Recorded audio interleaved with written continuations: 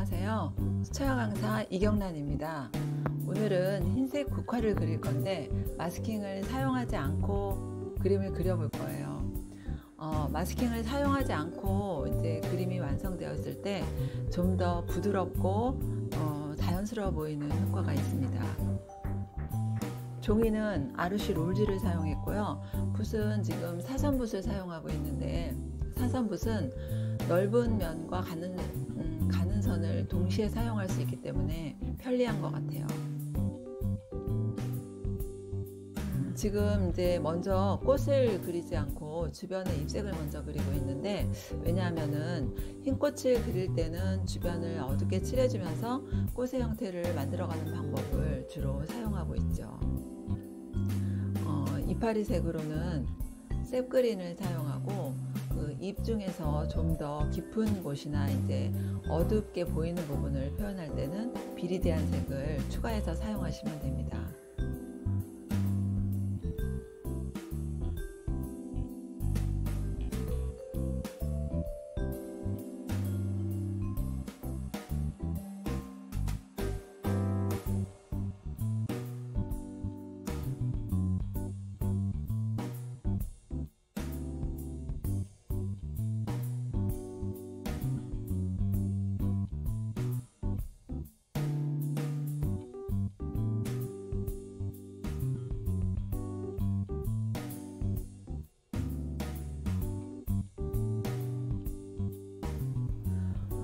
흰 꽃을 어, 그릴 때 흰색이라 색이 없다고 생각하실 수도 있는데 빛을 생각하시면서 그 반대 방향에 생기는 그림자를 먼저 표현해 주시면 됩니다.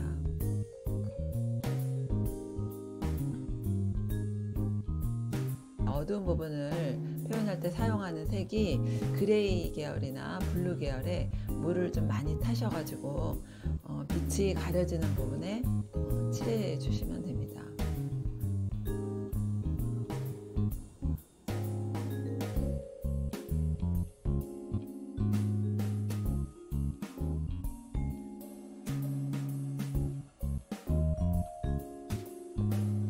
노란색의 꽃을 그릴 건데 밝은 부분은 permanent yellow를 사용했고 어, 아래쪽에 그늘진 부분은 yellow ochre나 light brown을 섞어서 조금 더 어둡게 표현을 해주시면 됩니다.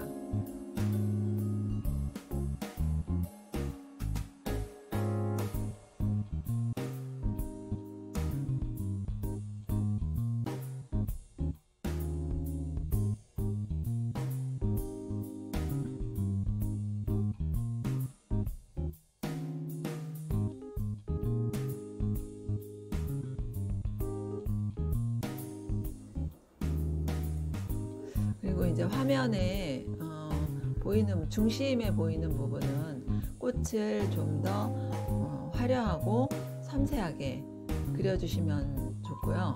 왜냐면은 그 가운데 있는 꽃이라 이제 주인공이 되니까 어, 좀더 섬세하게 표현을 해주시면 눈에 잘 띄겠죠.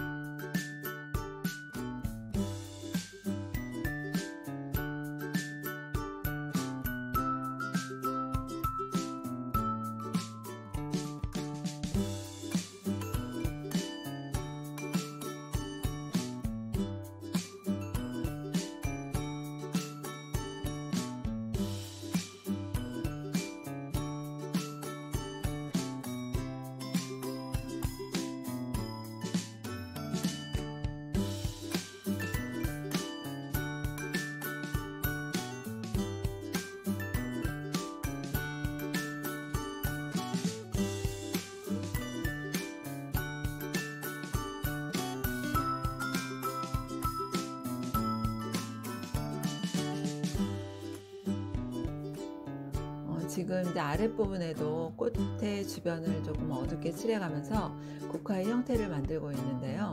비리디안이나 블루를 조금 섞어서 어, 사용해 보시면 좀 더 채도가 좀 떨어진 그런 배경색을 만드실 수 있을 겁니다.